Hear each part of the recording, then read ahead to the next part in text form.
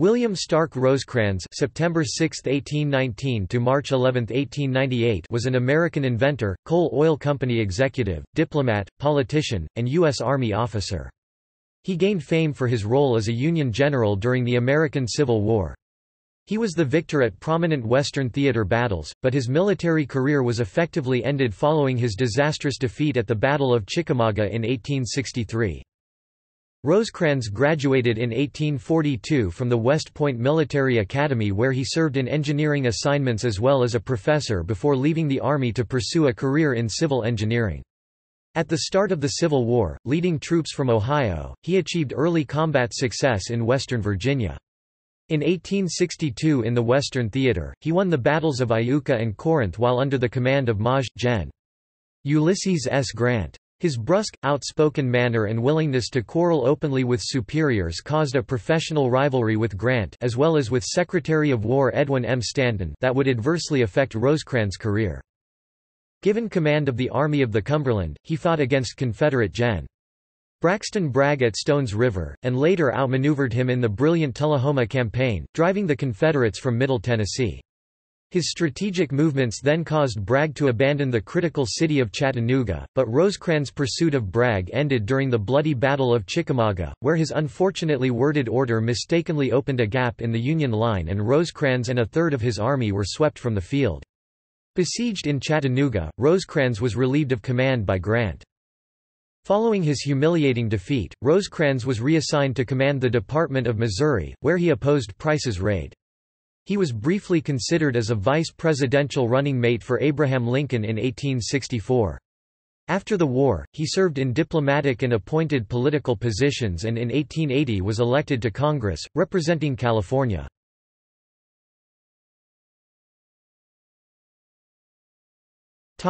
Early life and education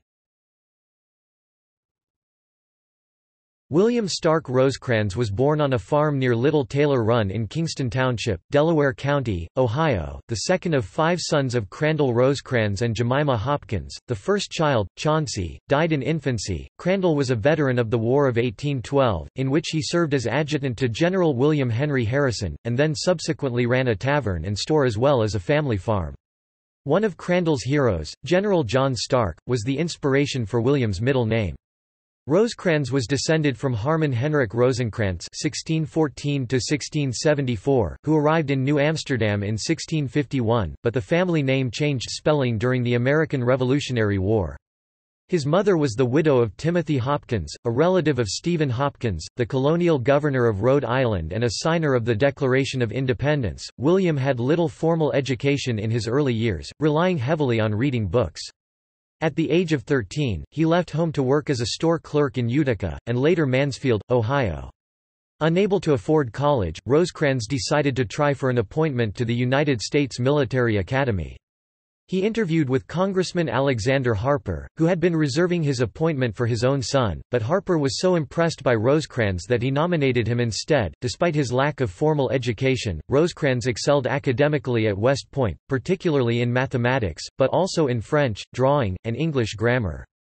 It was at the academy that he received his nickname, Rosie, or more often, Old Rosie. He graduated from West Point in 1842, fifth in his class of 56 cadets, which included notable future generals such as James Longstreet, Abner Doubleday, D.H. Hill, and Earl Van Dorn.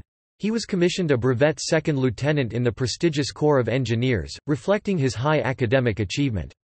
At his graduation, he met Anna Elizabeth or Eliza Hegeman (1823–1883) of New York City and immediately fell in love.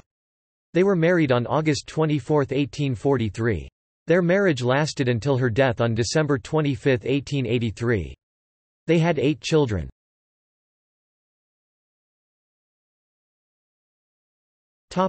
Career After graduating from West Point, Rosecrans was assigned to duty at Fort Monroe, Virginia, engineering sea walls.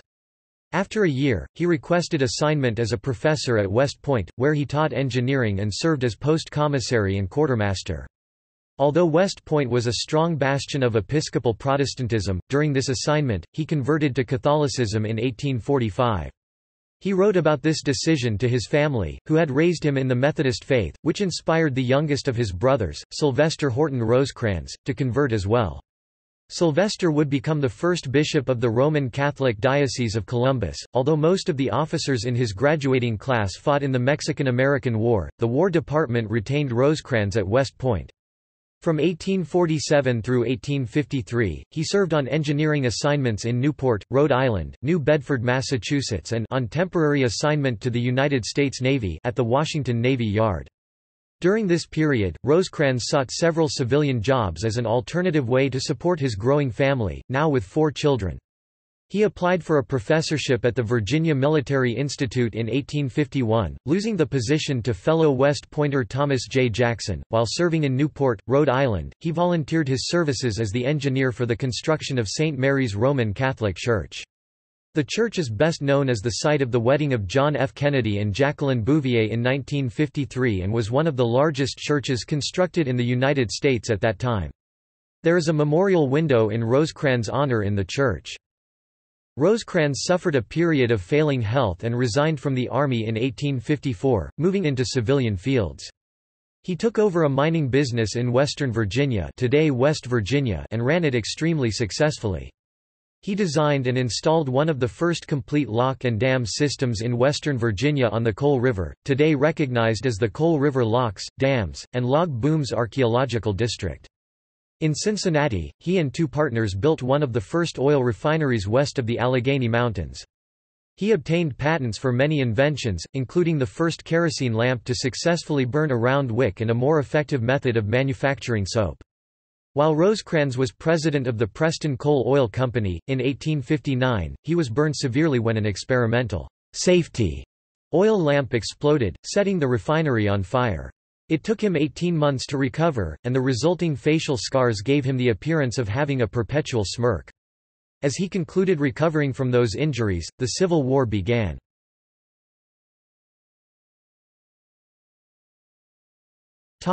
American Civil War Just days after Fort Sumter surrendered, Rosecrans offered his services to Ohio Governor William Dennison, who assigned him as a volunteer aide-de-camp to Maj. Gen. George B. McClellan, who commanded all Ohio volunteer forces at the beginning of the war. Promoted to the rank of colonel, Rosecrans briefly commanded the 23rd Ohio Infantry Regiment, whose members included Rutherford B. Hayes and William McKinley, both future presidents. He was promoted to brigadier general in the regular army, ranking from May 16, 1861. His plans and decisions proved extremely effective in the Western Virginia campaign. His victories at Rich Mountain and Corrick's Ford in July 1861 were among the very first Union victories of the war, but his superior, Maj. Gen. McClellan, received the credit. Rosecrans then prevented, by much maneuvering but little fighting, Confederate Brig. General John B. Floyd and his superior, Gen. Robert E. Lee, from recapturing the area that became the state of West Virginia. When McClellan was summoned to Washington after the defeat suffered by Federal forces at the First Battle of Bull Run, General-in-Chief Winfield Scott suggested that McClellan turn over the West Virginia command to Rosecrans. McClellan agreed, and Rosecrans assumed command of what was to become the Department of Western Virginia. In late 1861, Rosecrans planned for a winter campaign to capture the strategic town of Winchester, Virginia, turning the Confederate flank at Manassas. He traveled to Washington to obtain McClellan's approval. McClellan disapproved, however, telling Rosecrans that putting 20,000 Union men into Winchester would be countered by Confederates moving an equal number into the vicinity. He also transferred 20,000 of Rosecrans's 22,000 men to serve under Brig. General Frederick W. Lander, leaving Rosecrans with insufficient resources to do any campaigning. In March 1862, Rosecrans's department was converted to the Mountain Department, which was given to political General John C. Fremont, leaving Rosecrans without a command. He served briefly in Washington, where his opinions clashed with those of newly appointed Secretary of War Edwin M. Stanton on tactics and Union command organization for the Shenandoah Valley campaign against Stonewall Jackson. Stanton became one of Rosecrans's most vocal critics. One of Stanton's assignments for Rosecrans was to act as a guide for Brig. General Louis Blenker's division Fremont's department in the valley, and Rosecrans became intimately involved in the political and command confusion in the campaign against Jackson in the valley.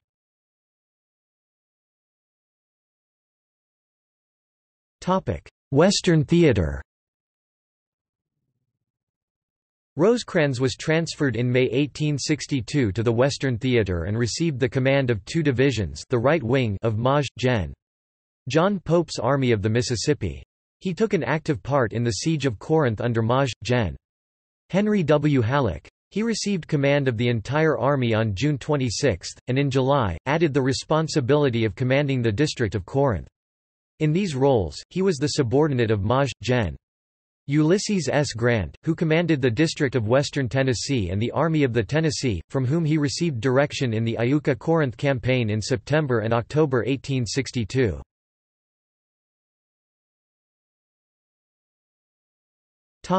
Iuka Confederate Maj. General Sterling Price had been ordered by Gen. Braxton Bragg to move his army from Tupelo toward Nashville, Tennessee, in conjunction with Bragg's Kentucky offensive. Price's army settled in Iuka and awaited the arrival of Maj. Gen. Earl Van Dorn's army. The two generals intended to unite and attack Grant's lines of communication in western Tennessee, which would prevent Buell's reinforcement if Grant reacted the way they expected, or might allow them to follow Bragg and support his northern invasion if Grant acted more passively. Grant did not wait to be attacked, approving a plan proposed by Rosecrans to converge on Price with two columns before Van Dorn could reinforce him. Grant sent Brig. General Edward Ord with three Army of the Tennessee divisions about 8,000 men along the Memphis and Charleston Railroad to move upon Iuka from the northwest. Rosecrans's army would march in concert along the Mobile and Ohio Railroad, swinging into Iuka from the southwest, closing the escape route for Price's army. Grant moved with Ord's headquarters and had little tactical control over Rosecrans during the battle, while Ord advanced toward Iuka on the night of September 18. Rosecrans was late, having farther to march over roads mired in mud. Furthermore, one of his divisions took a wrong turn and had to countermarch to the correct road.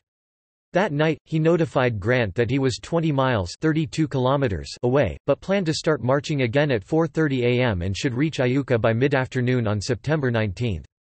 Considering this delay, Grant ordered Ord to move within 4 miles (6.4 kilometers of the town, but to await the sound of fighting between Rosecrans and Price before engaging the Confederates. Rosecrans' army marched early on September 19, but instead of using two roads as originally planned, it took only one of them. Rosecrans was concerned that if he used both roads, the two halves of his divided force could not support each other if the Confederates attacked.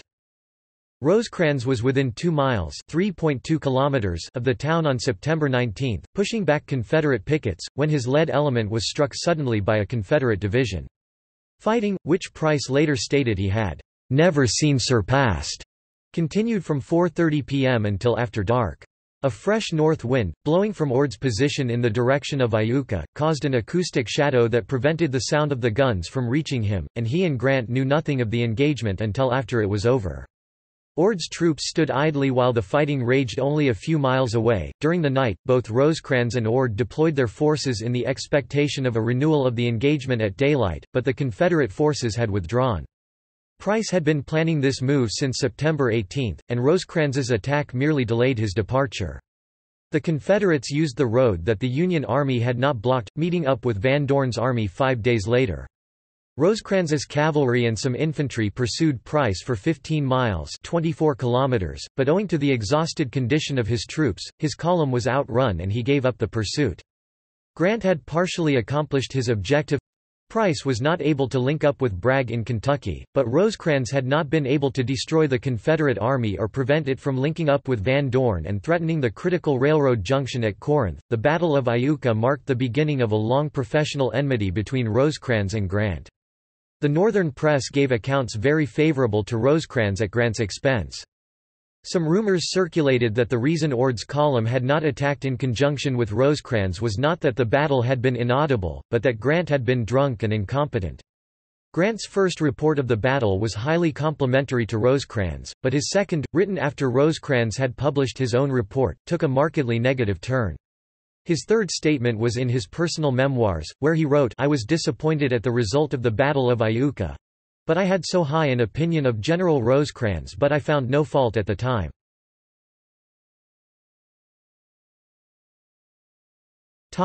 Corinth Price's army joined Van Dorn's on September 28. Van Dorn, as the senior officer, took command of the combined force. Grant became certain that Corinth was their next target. The Confederates hoped to seize Corinth from an unexpected direction, isolating Rosecrans from reinforcements, and then sweep into Middle Tennessee. Grant sent word to Rosecrans to be prepared for an attack, but despite the warning, Rosecrans was not convinced that Corinth was necessarily the target of Van Dorn's advance. He believed that the Confederate commander would not be foolhardy enough to attack the fortified town and might well instead choose to strike the Mobile and Ohio Railroad and maneuver the Federals out of their position. On the morning of October 3, three of Rosecrans's divisions advanced into old Confederate rifle pits north and northwest of town. Van Dorn began his assault at 10 a.m. as a planned double envelopment, in which he would open the fight on Rosecrans's left, in the hope that Rosecrans would weaken his right to reinforce his left, at which time Price would make the main assault against the Federal right and enter the works. The Confederates forced their way through a temporary gap in the line about 1.30 p.m., and the whole Union line fell back to within half a mile of the redoubts, so far the advantage had been with the Confederates. Rosecrans had been driven back at all points, and night found his entire army, except Pickett's, inside the redoubts. Both sides had been exhausted by the fighting. The weather had been hot, with a high of 94 degrees Fahrenheit 34 degrees Celsius, and water was scarce, causing many men to nearly faint from their exertions. Rosecrans's biographer, William M. Lamers, reported that Rosecrans was confident at the end of the first day of battle, saying, "'We've got them where we want them' and that some of the general's associates claimed that he was in magnificent humor. Peter Cozzens, however, suggested that Rosecrans was tired and bewildered, certain only he was badly outnumbered—at least three to one by his reckoning. Civil War historian Stephen E. Woodworth portrayed Rosecrans's conduct in a negative light. Rosecrans had not done well. He had failed to anticipate the enemy's action, put little more than half his troops into the battle, and called on his men to fight on ground they could not possibly hold. He had sent a series of confusing and unrealistic orders to his division commanders and had done nothing to coordinate their activities, while he personally remained safely back in Corinth. The movements of the army that day had had nothing to do with any plan of his to develop the enemy or make a fighting withdrawal. The troops and their officers had simply held on as best as they could. On the second day of battle, the Confederates moved forward at 9 a.m. to meet heavy Union artillery fire, storming Battery Powell and Battery Robinette, where desperate hand-to-hand -hand fighting occurred. A brief incursion into the town of Corinth was repulsed. After a Federal counterattack recaptured Battery Powell, Van Dorn ordered a general retreat. At 4 p.m., reinforcements from Grant under the command of Brig. General James B. McPherson arrived from Jackson. But the Battle of Corinth had effectively been over since 1 p.m. and the Confederates were in full retreat. Once again, Rosecrans's performance during the second day of the battle has been the subject of dispute among historians. His biographer, Lamers, paints a romantic picture. One of Davies' men, David Henderson, watched Rosecrans as he dashed in front of the Union lines. Bullets carried his hat away. His hair flew in the wind. As he rode along he shouted, Soldiers! Stand by your country. He was the only general I ever knew. Henderson said later, who was closer to the enemy than we were who fought at the front. Henderson after the war, a congressman from Ohio and Speaker of the House of Representatives wrote that Rosecrans was the central leading and victorious spirit. By his splendid example in the thickest of the fight he succeeded in restoring the line before it was completely demoralized, and the men, brave when bravely led, fought again. Peter Cozzens, author of a recent book-length study of Iuka and Corinth, came to the opposite conclusion. Rosecrans was in the thick of battle, but his presence was hardly inspiring. The Ohioan had lost all control of his infamous temper, and he cursed as cowards everyone who pushed past him until he, too lost hope. Rosecrans's histrionics nearly cost him his life. On the second day I was everywhere on the line of battle. He wrote with disingenuous pride. Temple Clark of my staff was shot through the breast. My saber tash strap was caught by a bullet, and my gloves were stained with the blood of a staff officer wounded at my side. An alarm spread that I was killed, but it was soon stopped by my appearance on the field." Rosecrans's performance immediately after the battle was lackluster. Grant had given him specific orders to pursue Van Dorn without delay, but he did not begin his march until the morning of October 5, explaining that his troops needed rest and the thicketed country made progress difficult by day and impossible by night. At 1 p.m. on October 4, when pursuit would have been most effective, Rosecrans rode along his line to deny in person a rumor that he had been slain. At Battery Robinette, he dismounted, bared his head, and told his soldiers, I stand in the presence of brave men, and I take my hat off to you.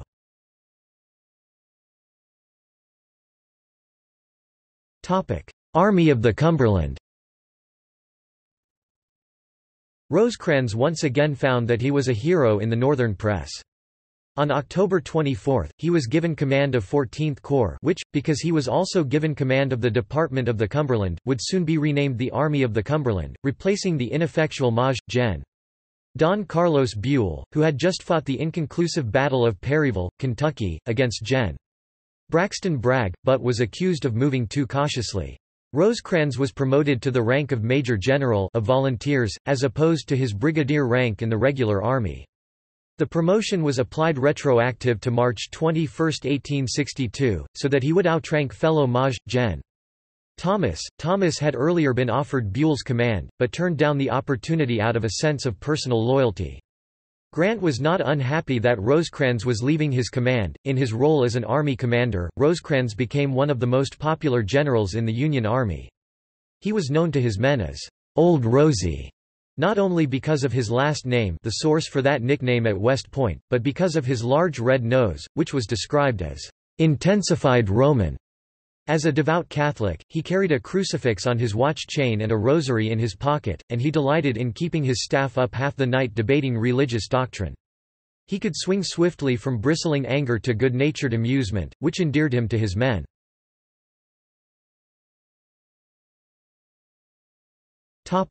Stones River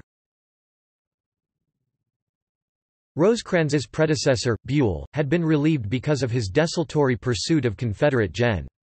Braxton Bragg following the Battle of Perryville. And yet, Rosecrans displayed similar caution, remaining in Nashville while he reprovisioned his army and improved the training of his cavalry forces. By early December 1862, General-in-Chief Henry W. Halleck had lost his patience. He wrote to Rosecrans, if you remain one more week in Nashville, I cannot prevent your removal." Rosecrans replied, I need no other stimulus to make me do my duty than the knowledge of what it is.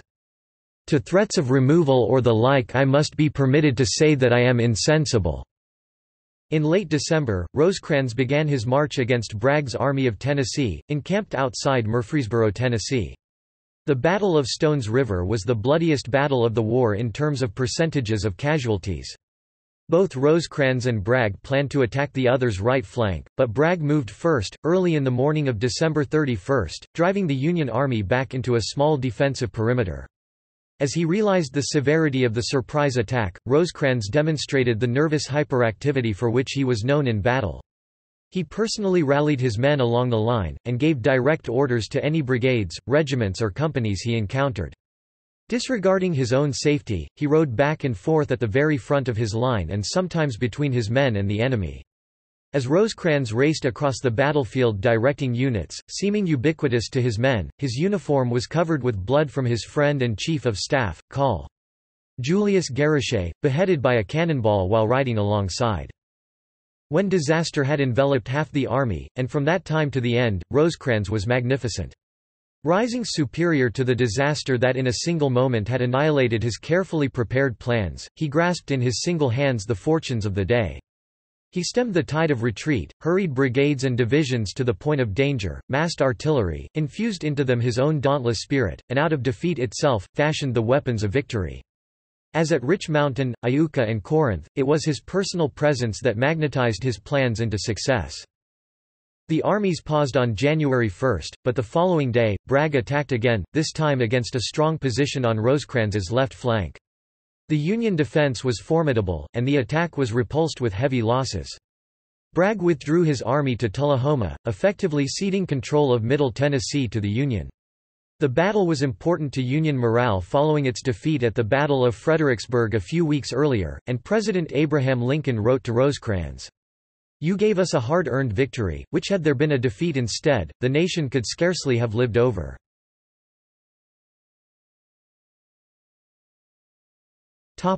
Tullahoma Rosecrans's 14th Corps was soon redesignated the Army of the Cumberland, which he kept in place occupying Murfreesboro for almost six months, spending the time resupplying and training, for he was reluctant to advance on the muddy winter roads.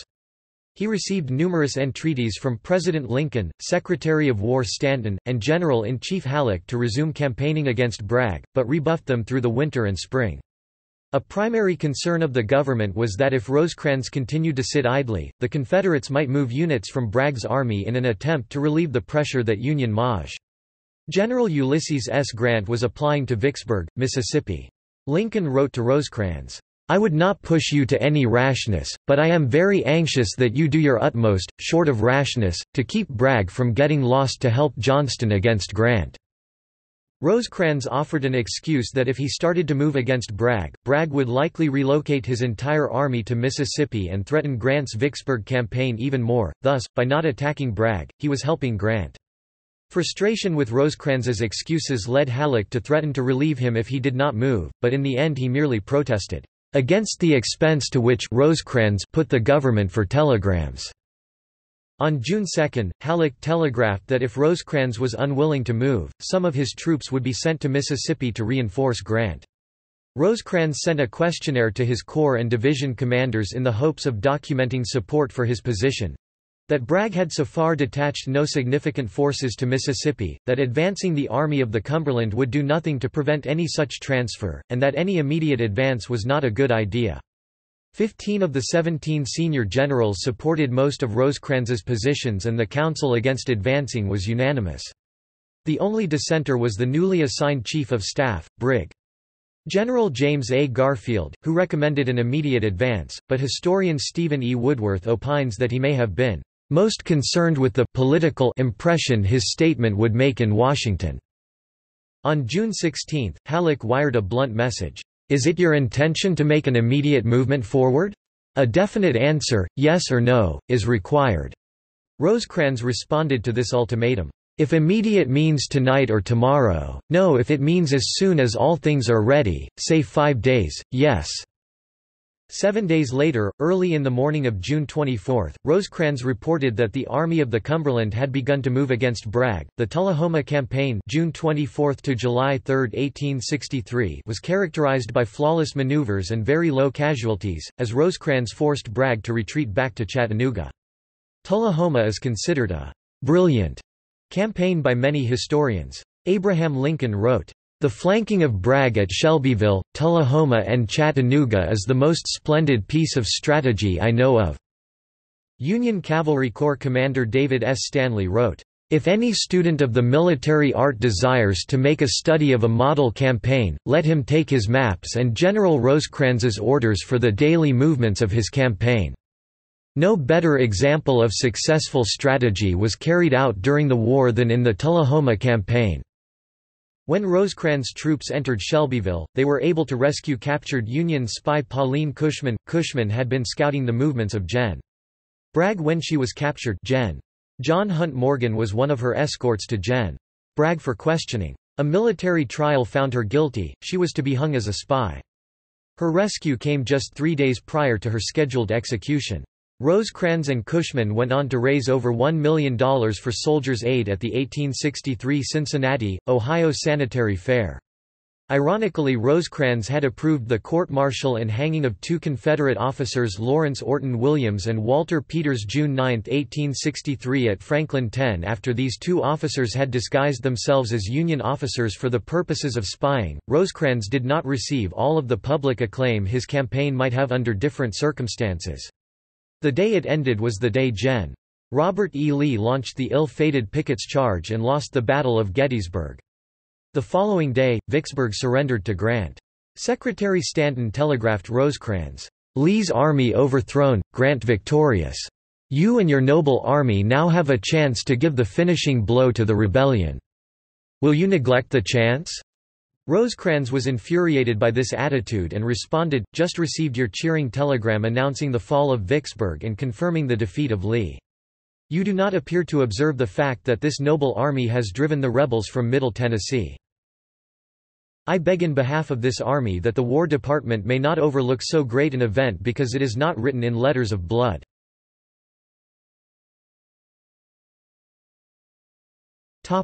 Chickamauga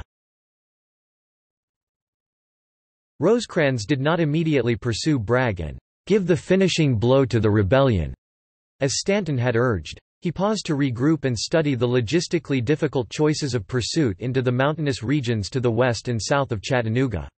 When he was ready to move, he once again maneuvered in a way to disadvantage Bragg. The Confederates abandoned Chattanooga and withdrew into the mountains of northwestern Georgia. Rosecrans threw aside his previous caution under the assumption that Bragg would continue to retreat and began to pursue with his army over three routes that left his corps commanders dangerously far apart. At the Battle of Davis's Cross Roads on September 11, Bragg came close to ambushing and destroying one of Rosecrans's isolated corps. Realizing the threat at last, Rosecrans issued urgent orders to concentrate his army, and the two opponents faced each other across West Chickamauga Creek. The Battle of Chickamauga began on September 19 with Bragg attacking the not fully concentrated Union Army, but he was unable to break through Rosecrans's defensive positions. On the second day of battle, however, disaster befell Rosecrans in the form of his poorly worded order in response to a poorly understood situation. The order was directed to Brig. General Thomas J. Wood, to close up and support General Joseph J. Reynolds's division, planning to fill an assumed gap in the line. However, Wood's subsequent movement actually opened up a new, division-sized gap in the line. By coincidence, a massive assault by Lieutenant Gen. James Longstreet had been planned to strike that very area and the Confederates exploited the gap to full effect, shattering Rosecrans's right flank. The majority of units on the Union right fell back in disorder toward Chattanooga. Rosecrans, Garfield, and two of the corps commanders, although attempting to rally retreating units, soon joined them in the rush to safety. Rosecrans decided to proceed in haste to Chattanooga in order to organize his returning men and the city defenses. He sent Garfield to Maj. Gen.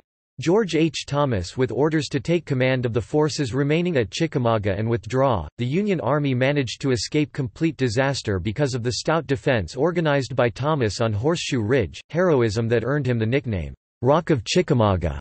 The Army withdrew that night to fortified positions in Chattanooga. Bragg had not succeeded in his objective to destroy the Army of the Cumberland, but the Battle of Chickamauga was nonetheless the worst Union defeat in the Western theater. Thomas urged Rosecrans to rejoin the army and lead it, but Rosecrans, physically exhausted and psychologically a beaten man, remained in Chattanooga. President Lincoln attempted to prop up the morale of his general, telegraphing, "'Be of good cheer. We have unabated confidence in you and your soldiers and officers. In the main, you must be the judge as to what is to be done. If I was to suggest, I would say save your army by taking strong positions until Burnside joins you." Privately, Lincoln told John Hay that Rosecrans seemed "...confused and stunned like a duck hit on the head." Whether he did or did not know that Thomas still held the field, it was a catastrophe that Rosecrans did not himself ride to Thomas, and send Garfield to Chattanooga. Had he gone to the front in person and shown himself to his men, as at Stone River, he might by his personal presence have plucked victory from disaster, although it is doubtful whether he could have done more than Thomas did. Rosecrans, however, rode to Chattanooga instead. Although Rosecrans's men were protected by strong defensive positions, the supply lines into Chattanooga were tenuous and subject to Confederate cavalry raids. Bragg's army occupied the heights surrounding the city and laid siege upon the Union forces. Rosecrans, demoralized by his defeat, proved unable to break the siege without reinforcements. Only hours after the defeat at Chickamauga, Secretary Stanton ordered Maj. Gen. Joseph Hooker to travel to Chattanooga with 15,000 men in two corps from the Army of the Potomac in Virginia. Maj. Gen. Ulysses S. Grant was ordered to send 20,000 men under his chief subordinate Maj. Gen. William T. Sherman, from Vicksburg, Mississippi. On September 29, Stanton ordered Grant to go to Chattanooga himself, as commander of the newly created Military Division of the Mississippi. Grant was given the option of replacing the demoralized Rosecrans with Thomas. Although Grant did not have good personal relations with either general, he selected Thomas to command the Army of the Cumberland. Grant traveled over the treacherous mountain supply line roads and arrived in Chattanooga on October 23. On the morning of the 21st we took the train for the front, reaching Stevenson, Alabama, after dark. Rosecrans was there on his way north. He came into my car and we held a brief interview, in which he described very clearly the situation at Chattanooga, and made some excellent suggestions as to what should be done. My only wonder was that he had not carried them out. Grant executed a plan originally devised by Rosecrans and Brig. Gen. William F. Baldy Smith to open the Cracker Line and resupply the army and, in a series of battles for Chattanooga November 23–25, 1863, routed Bragg's army and sent it retreating into Georgia.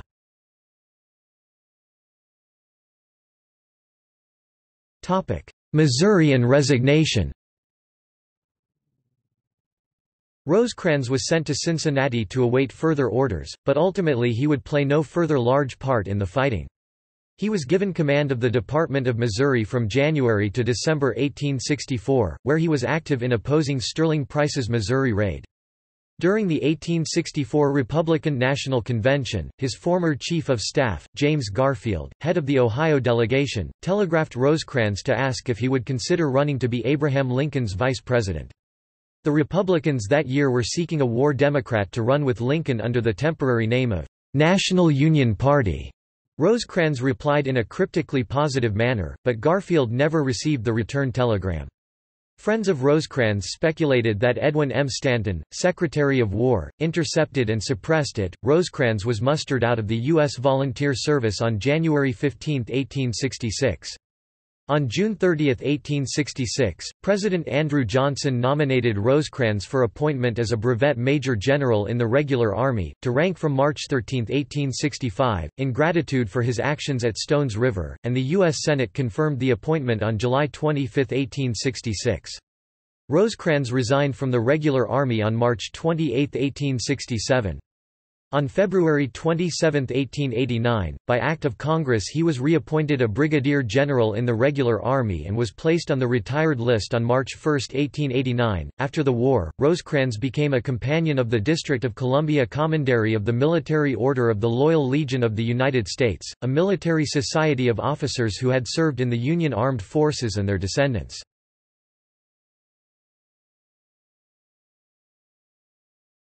Topic: Later life After the war, Rosecrans became interested in railroads and was one of the eleven incorporators of the Southern Pacific Railroad, but his valuable interests in the stock of the railroad were lost to some of the unscrupulous financiers who were his business partners. From 1868 to 1869, Rosecrans served as U.S. Minister to Mexico, but was replaced after just five months when his old nemesis, Ulysses Grant, became president. During this brief service, he became convinced that Mexico would benefit from a narrow-gauge railway and telegraph line from Tampico to the coast, but this venture, from 1869 through 1873, was a failure. Rosecrans then became interested in civil administration and wrote a book, Popular Government, with a former newspaperman, Josiah Riley, which advocated registration and voting reforms. He was approached by various political parties to run for high office, Governor of Ohio Union Party, 1866, Governor of California Democratic Party, 1868, Governor of Ohio Democratic Party, 1869, U.S. Representative from Nevada Democratic Party, 1876. He refused all of these offers because they conflicted with potentially promising business ventures, leading him to be referred to by the nickname, the Great Decliner. In 1869, Rosecrans bought 16,000 acres 65 square kilometers of Rancho San Pedro in the Los Angeles Basin for $2.50 per acre $620 per square kilometer, a low price possibly because the land was deemed worthless for lack of a spring for water. The ranch, dubbed Rosecrans Rancho, was bordered by what later was Florence Avenue on the north, Redondo Beach Boulevard on the south, Central Avenue on the east, and Arlington Avenue on the west. By the time of Rosecrans's death, his son Carl was living on the estate, but most of the land had been sold parcel by parcel to support the financial needs of mining ventures in which Rosecrans invested. In 1880, Rosecrans was elected U.S. Representative as a Democrat from California's 1st Congressional District. That same year, James Garfield was elected president as a Republican. Rosecrans was distressed to see that Garfield's campaign literature played up his role in the war at Rosecrans's expense. Their former friendship was irretrievably broken. After Garfield's assassination, Charles A. Dana capitalized on the tragedy by publishing the letters written by Garfield after Chickamauga to then Secretary of the Treasury Salmon P. Chase. The letters may have been the major reason for Rosecrans's loss of political support at the time. Rosecrans was re-elected in 1882 and became the chairman of the House Military Affairs Committee, a position in which he publicly opposed a bill that would provide a pension to former President Grant and his wife. Unaware of the serious financial condition of Grant's family, Rosecrans objected that some of Grant's official statements were false, and which he knew to be false at the time he made them, and which I have shown in my official reports to be false. I cannot say to the people of this country that a business which has been conducted as to rob poor people of millions, and which, if done on a smaller scale would have sent its managers to prison, shall be considered as important when the principal manager has allowed a great name to be used as the instrument of the robbery." The bill was passed over his objections. When a bill was introduced in 1889 to restore Rosecrans's rank and place him on the retired list, some representatives objected, based on Rosecrans's actions against Grant in 1885, but the bill was passed. Rosecrans did not seek re-election in 1884. He served as a regent of the University of California in 1884 and 1885. Although Rosecrans was mentioned on a few occasions as a possible presidential candidate, the first Democratic president elected after the war was Grover Cleveland in 1884. Newspaper stories circulated that Rosecrans was under serious consideration to be appointed his Secretary of War, but he was appointed instead as the Register of the Treasury, serving from 1885 to 1893. Rosecrans spoke at the dedication of the Chickamauga and Chattanooga National Military Park on September 19, 1889, during which he delivered an address that was considered the best in capturing the feelings of the veterans present from both sides.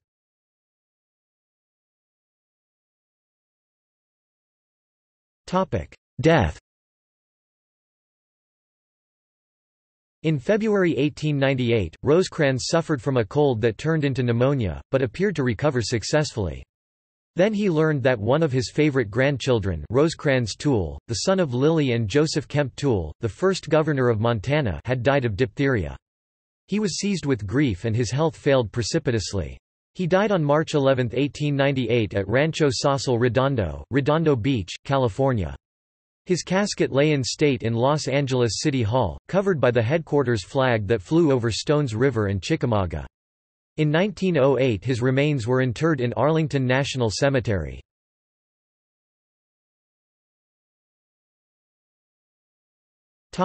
Legacy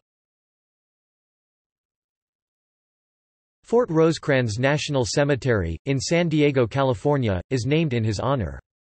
Major streets named after William Rosecrans include Rosecrans Avenue, a major east-west street that runs through the southern part of Los Angeles County, and Rosecrans Street in San Diego, which runs near the aforementioned cemetery.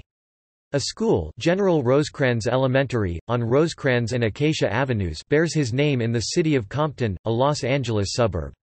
A simple memorial was constructed on the site of his birthplace and childhood home. Just north of Sunbury, Ohio, a large boulder surrounded by a wrought iron fence holds a plaque in memoriam and rests beside a rural road that bears his name.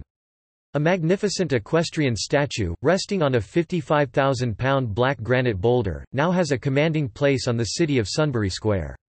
Rosecrans' headquarters in the build-up to the Chickamauga campaign was listed on the National Register of Historic Places in 1978. The USAT. Rosecrans was a troop transport ship used in the early 1900s that saw service in the Pacific. The USAT. William S. Rosecrans, another similarly named ship, was built as Liberty Ship Hull 570 by the Oregon Shipbuilding Corporation and rated to hold 504 troops.